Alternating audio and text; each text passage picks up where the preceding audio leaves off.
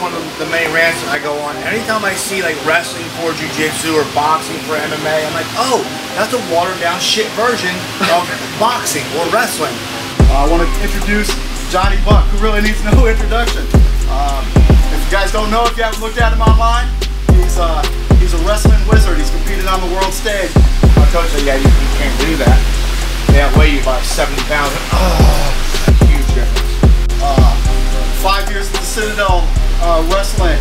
Uh, 2017 2018 King of Catch. That's a big uh, national catch wrestling accomplishment. Fought in Bellator, uh, MMA.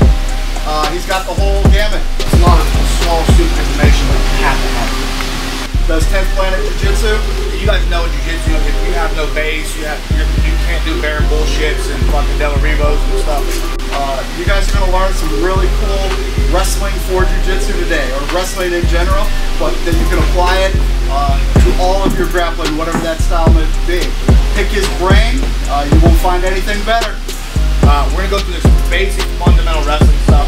It's gonna be ugly, but we're gonna fix it and refine it. We'll make it really easy so taking out anybody you want to. Everybody good? Yes, sir. All right, on two, one, two.